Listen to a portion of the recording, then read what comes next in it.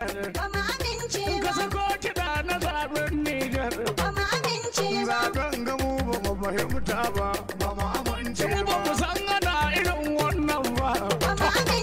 chers amis, chers invités, permettez-moi tout d'abord de vous remercier très chaleureusement d'avoir répondu à cette invitation. Comme vous vous attendez certainement, notre rencontre d'aujourd'hui porte sur l'évolution de la situation sociopolitique au lendemain des élections générales 2020-2021 au Niger. Même si aujourd'hui la préoccupation du moment est le résultat global, provisoire, du second tour des présidentielles, il faut souligner que les scrutins précédents, municipal, régional, législatif et le premier tour des présidentielles ont été affectés par des graves insuffisances et des fraudes massives préalablement organisées. Je voudrais donc tout particulièrement m'apesantir sur le second tour des élections présidentielles du 21 février 2021. Mesdames et messieurs, nous avons suivi l'enthousiasme avec lequel le peuple nigérien est sorti massivement pour prendre part à ce scrutin. Nous avons en effet observé que partout, en ville comme en campagne, les populations nigériennes se sont mobilisées pour s'acquitter de leurs devoirs civiques, attestant ainsi de leur attachement à la démocratie et à la libre expression de leurs choix. Cependant, si ce scrutin s'est déroulé dans une relative sérénité, il faut déplorer les attaques terroristes occasionnant la mort de huit agents électoraux dans les régions de Difa et Tilaberi, pour lesquels nous présentons nos condoléances aux familles des disparus et nos souhaits de prompt rétablissement aux blessés. De nombreux manquements et défaillances ont été relevés sur l'ensemble du territoire national. Entre autres, braquage d'urnes, bourrage d'urnes, menaces par arme à feu sur des délégués et des superviseurs, renvoi des délégués et membres des bureaux de vote, signature forcée sous menace d'arme à feu, des procès verbaux préfabriqués, fabrication de procès verbaux pour des bureaux de vote qui n'ont jamais fonctionné, achat de conscience, intimidation, manipulation diverses, etc. Mesdames et messieurs, comme vous avez pu le constater, depuis plus de trois ans, l'opposition politique nigérienne a déployé des efforts importants en vue d'aboutir à un processus électoral consensuel et inclusif, permettant l'organisation d'élections qui puissent être justes, impartiales et apaisées. Tous ces efforts sont restés infructueux, car les rares initiatives de médiation en vue de parvenir à ce consensus tant souhaité par l'opposition n'ont pas pu aboutir face à la volonté farouche du régime de conserver le pouvoir coûte que coûte. Ainsi, malgré toutes les réserves et les récriminations, notamment par rapport aux audiences foraines, au recensement biométrique, à la loi électorale, à la composition de la Commission électorale nationale indépendante, la CENI, et à la composition de la Cour constitutionnelle. L'opposition politique a tenu à participer à tous les scrutins, espérant ainsi contribuer au renforcement du processus démocratique dans notre pays.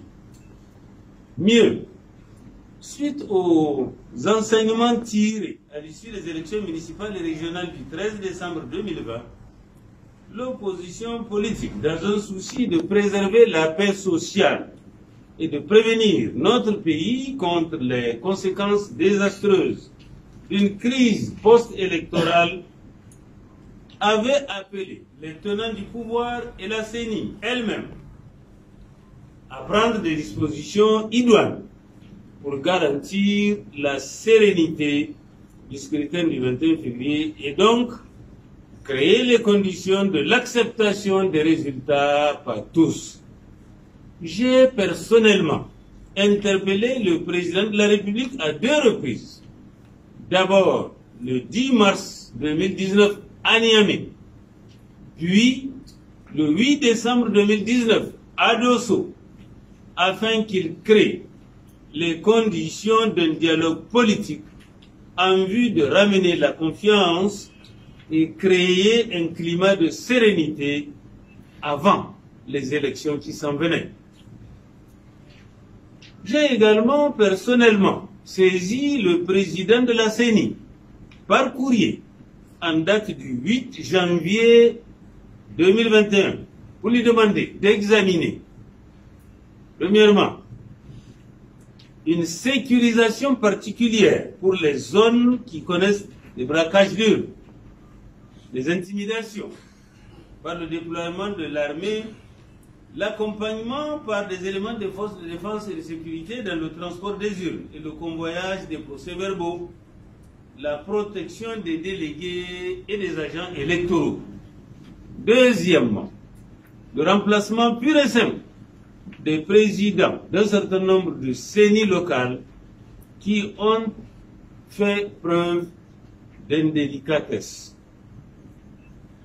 Troisièmement, l'arrêt de l'immixtion de certains chefs traditionnels, des agents de l'administration et d'autres tiers acteurs soumis à l'obligation de réserve par la loi.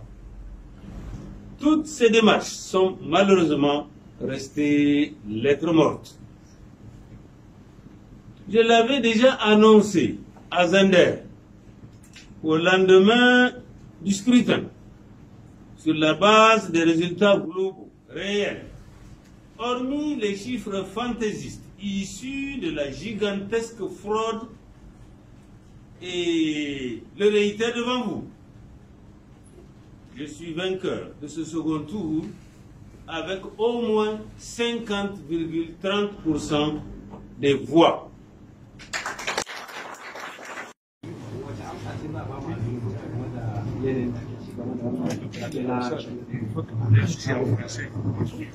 To, eh, ni ke godiya. Lalle, eh, na musulun ka. Lalle, Sule Mumuni Barma. Kai da kanka ka san yanda a wannan karo zaɓuɓɓukan wannan ƙasa tamu na wannan shekara suka gudana. Kun ga kuma an ma ba ku gani ba kun ji an yi a rikizo da yawa inda wato aka yi fashi da makami domin tare akwatin zaɓe domin hana wakilai na su yi aikinsu yadda ya kamata. Kuma na san kamar ni barma kai ma ka gani cikin rezo sosiyo da ake cewa wanda na yanar gizo. Irin wannan abubuwa. Saboda akwai waɗanda suka yi ƙoƙarin ɗaukar su a hoto kuma suka yada duniya ta gani. Akwai ma inda za ka ga akwatin zaɓe ga bindiga an ajiye a kan kuma ga ƙato ya tsaya kawai ɗaya ya tare mutane. Duka wannan ba wani abu ba ne sabo. Da kuma wato shi ma rigizo da aka yi yawa. Na gurare inda aka shirya ƙuri'u na ƙarya. Kuma ni ɗin nan na riga na bayyana wannan labari kwana shidda kafin a jefa ƙuri'a. Inda na faɗi waɗansu gurare kamar su ungurci su taskar cewa a wayannan gurare ga fani yadda ake. Saboda mun samu labari na wannan sata da aka shirya. Kuma ai kun gani akwai inda suka gyara akwai kuma inda samu suka gyara ba. To jama'a kun gani wannan zaɓen da aka yi shi ne wato a a wannan ƙasa tamu an sha yin zaɓuɓɓuka ba sau ɗaya ba sau ba. Amma yaushe kuka taɓa ganin zaɓen da aka yi shi tun zagaye na farko kafin a je zagaye na biyu? Zagaye na farko lalle mutane sun ɓata rai sun yi ladama kuma ni kan kaina na rubuta takarda inda na faɗi kurakurai wanda ya kamata a tsaya a gyara wanda ya kamata ita ƙungiyar zaɓe mai zaman kanta. Kamar yadda doka ta tilasta mata ta dakata ta gyara don a yi zaɓe na zagaye biyu cikin lami lafiya. Kuma ban da wannan kafin in yi wannan magana wato a nan garin yabe na yi wani kira ga shi shugaban ƙasa inda na ce mishi. Ya yi hattara. Ya yi yadda za a samu zama na siyasa a sasanta a tattauna wajen kimtse-kimtse da shirye-shirye na zaɓe. Yi. A lokacin nan inda na kira cewa ba daidai ba ne wajen kusan shekara biyu kafin a je zaɓe. Wanda yake shine ɗan takara na neman shugabancin ƙasa a ƙarƙashin jam'iyyar su wanda suke iko. Ya zamanto shine minista mai kulawa da jam'iyyun siyasa kuma mai kulawa da harkar zaɓe. To in an yi haka an yi zalunci. Ba daidai ba ne. Ɗan takara daidai yake da ɗan takara. Bai kamata ba a sa wani da gangan a mishi gatanci a sanya shi domin ya shirya zaɓe yadda ya ga dama. Wannan duk mun santa. To na fito kirikiri na bayyana shi duk jama'an ƙasa sun shi kuma duk duniya ta yi bayan wannan wannan huɗu shi fa na yi shi a wata a a goma da watan uku na wannan shekara da ta wuce di mars. Bayan wannan wato na sake yin wani furuci a doso inda shi ma nawa shi shugaban ƙasa mai ci yanzu wani bayani na mishi wani kira inda na ce zaɓe iya zauka cikin 'yan lokata kaɗan ya kamata ya yi ƙoƙari ya gyara abubuwan da ya kamata ya gyara. Domin a samu sasantuwa da daidaito tsakankanin waɗanda za su fuskanci siyasa wanda za su fuskanci zaɓe kamar yadda dokokin ƙasa suka tanada. Na yi bakin ƙoƙari na kwatanta mishi cewa a fa gyara a fa gyara. Saboda ƙasar nan ta saba a can da da shirya zaɓe wanda ake yin su lami lafiya. Wanda za su fuskanci zaɓe sun daidaita tsakankaninsu. Kuma ana fuskantar zaɓe ba tare da an yi zamba ba ba tare da an yi zalunci ba don a zamna lafiya. To amma a sha wannan abubuwa wato ba a ga an kula da su ba. To shi kan shi shugaban ƙungiyar zaɓe mai zaman kanta shi ma na mishi magana da babbar murya. Kuma a rubuce takwas da watan disamba na wannan shekara ta wuce. Na yi mishi takarda inda na ambaci irin kurakuran da aka gani a zagaye na farko kuma da a wancan zaɓuɓɓuka. Na ƙananan hukumomi da na 'yan majalisa kuma da zagaye na farko da neman shugabancin ƙasa. Daki daki daki na zana su kuma na kawo shawara da hanyar da ya kamata a bi domin a gyara don a yi zaɓe cikin kwanciyar hankali da zaman lafiya. Don 'ya'yan Nijar su ga lalle ƙuri'ar da suka jefa su ga halamun ita ce ta huto ba tare da za a samu wata rigima ba. To shi ma a sha a namu gani an yi watsi da irin wannan shawar to sai ga shi kwatsam mun je zagaye na biyu. Wannan sakamakon zaɓe na zagaye na biyu da aka faɗi na wucin gadi ba fa na ƙarshe ba ne. A'a ba ta ƙare ba. Da aka bayyana shi ma ai kun gani yadda a cikin ƙasar wannan. Gurare da yawa mutane ba tare da wani ya musu magana ba suka bijire suka fito suke nuna baƙin cikin su ɓacin ransu. Saboda sun san abin da suka je suka jefa kuma sun ji abin da aka ce shi ne sakamakon. Mafari kenan da suka bijire suka ce bisu yarda ba. Da kyan da shi goshi ake ba su magana ake ba su haƙuri cewa a'a ku yi haƙuri wannan fa zagaye na biyu ne. Kuma sakamakon na wucin gadi ne. Ba shi ba ne sakamako na ƙarshe. A'a daren tana gaba. Ku yi haƙuri har mu ga yanda ƙorahe-ƙorahen da za a kai wa alƙalin zaɓe da kurakuran da aka gani za a tattara duka wannan abun a kai wa shi alƙalin zaɓe tare da shaidu da komi da komi. In ya so sannan in har kuka gani abin ya yi daidai da ƙuri'o'in da kuka shewa to ai babu wani matsala. To in ba haka ba a yanzu ai bai kamata ba a yi wani tashin hankali.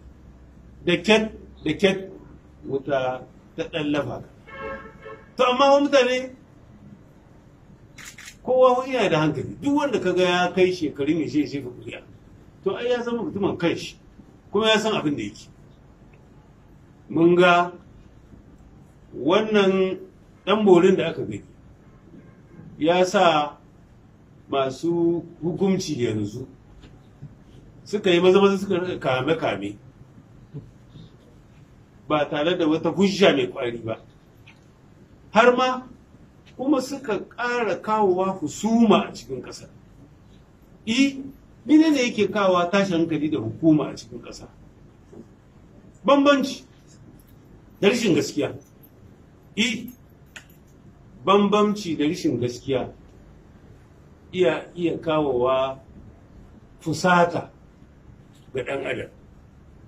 In ko mutum ya fusata ran shi ya ɓaci kuma akan rashin gaskiya to ai dole ne ya bishire yi ai shugaba sai da kunce ya sha yin gargaɗi bisa wani iya cewa da rishin gaskiya tana kawowa wato fusata ga ɗan adam. In ya ji ana mishi danniya ana mishi rishin gaskiya. In ko ya riga ya fusata kuma akan gaske shi. To wajibi ne sai a gani ya bishire to bishirewar wannan ita take kawo tashin hankali. A tsakankanin jama'a. Shi kuma tashin hankali. Ba a san ba inda yake kai mutane ba a san ba inda zai kai kasa. Kullum na kan faɗi ina cewa ai hankali. A riƙa kamanta gaskiya a riƙa tsaye da gaskiya. In ana so a samu kwanciyar hankali da zaman lafiya. Akwai doka akwai oda. Suna wuyan kowa suna kan kowa. A kiyaye su. Muddin aka ci gaba da yin danniya da bambamci da zalunci. To abin da zai biyo ba ai bijirewa ce. Ba kuna gani ba irin abubuwan da suke faruwa a sauran ƙasashe na duniya? To ya kamata mu yi koyi da talakawan da masu hukunci kowa yawa kan shi kiyamar domin a tsaye da gaskiya kuma Nijar ta zamna lafiya. Mun ga halamun waɗansu sun riga malam masallaci inda tuntuni tun wannan sakamako na rikon ƙwarya suka fara barka barka barka ga ɗan takara na masu hukunci. ba tare da sabbar zaɓen ya je ƙarshe ba to wannan ai ba daidai ba shiga shigula ce yi ƙasar mu tsararriya ce. Tana da dokoki tana da oda. Wannan zaɓe ai ba zagaye na biyu da an haɗe shi ba ce shikenan ta ƙare. A'a. Dokokinmu sun ba 'ya'yan Nijar damar su kai ƙara idan sun ga kure ko kuskure cikin sakamakon zaɓe. Kuma dole ne a yi jira har a ga sakamakon da zai fito na ƙarshe. Sannan kuma kowa ya wa kanshi shawarar da ya kamata ya wa kanshi. Haka take. To amma mun gani wa'yansu imma ƙungiyoyi imma ƙasashe na waje sun yi gaugawan cewa ai wani ne ya ci. A'a ba a san macito ba sai humiya ta kare saboda wannan muke jan hankalin 'yan uwa makwabta da sauran ƙungiyoyi cewa kowace ƙasa tana da nata shiri da tsari. Yi a bar gaugawa kuma a kiyaye wa juna. Sannan sai a samu hudda mai ƙwari kyakkyawa tsakankanin ƙungiyoyi da ƙasashe kuma tsakanin ƙasashe da ƙasashe a sannan za a samu kwanciyar hankali da zaman lafiya kuma a samu hanya ta ƙarfafa hudda ta tsakankanin juna. Ganin wannan ɓanna da aka yi da sace-sace da aka yi da mutane ma da aka kashe kurakuran wannan ba za su ba mu damar wato mu rihe bakinmu ba ko mu rihe idan mu yi kamar mu gani ba. A'a dole ne wajibi ne a gare mu kuma doka ta ba mu damar mu ɗaukaka ƙara tare da kawo fujja. To shi ne muka yi a yau na ɗaukaka ƙara wajen kotun tsarin mulki ta ƙasar tana da 'yan lokatta ita ma wanda doka ta ba da na ta duba kuma ta yanke hukunci. Fatan da muke shine jama'ar Nijar ta gani kiri-kiri. Abinda ta zaɓa shine ita kanta kotun ta bayyana. Na tabbata an haka ta samu to za a samu kwanciyar hankali da zaman lafiya. Amma in aka kuskura aka ga wani abu daban wanda jama'ar ƙasa gaba ɗaya ta ga halamun cewa ba fa gaskiya ba ce ta fito. To wannan kuma sai abin da Allah yi.